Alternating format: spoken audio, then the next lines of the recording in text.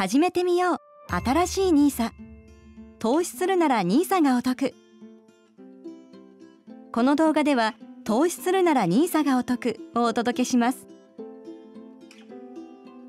いきなりですが投資には税金がかかることをご存知でしたか？ご存知なかった方もいるかもしれませんね。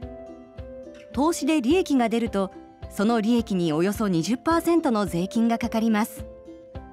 ですが NISA を使えば投資で得た利益に税金がかかりません。例えば100万円投資して10万円の利益が出た場合 NISA を使用しないとそのうち20%のおよそ2万円が税金としてかかりおよそ8万円しか利益を受け取ることができません。しかし NISA 口座であればこの利益の10万円を全額受け取ることができます。投資するなら NISA を活用するのがお得ですね。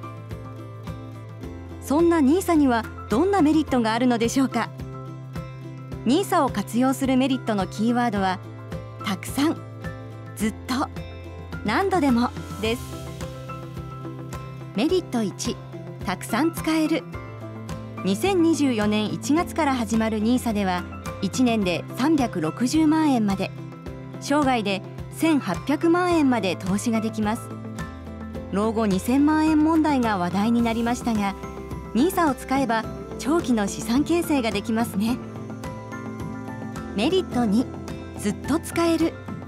2024年1月から始まる NISA は投資枠の範囲内であれば一生投資の利益に税金がかからずずっと非課税が続きます。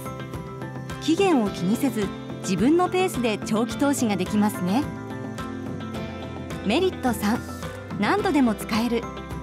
2024年1月から始まる NISA では一度購入して使用した枠であっても売却すれば翌年以降にその枠は復活し再び利用することができます。ライフイベントに合わせて取り崩したり投資を再開したりできますね。さらに NISA は100円1000円といった少額から始めることもできます。投資はハードルが高いと感じている方も気軽に始められそうですね。この動画のまとめです。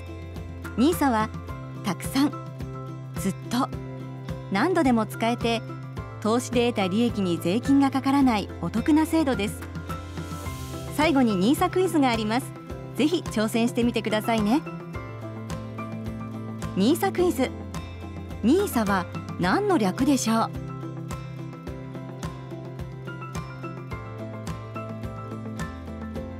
正解は日本インディビジュアルセービングアカウント。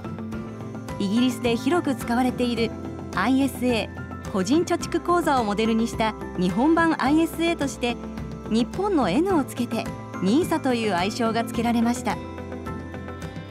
NISA しないともったいない。始めてみよう。新しい NISA 次回は NISA ってどうやって使うの？ぜひ次回も見てくださいね。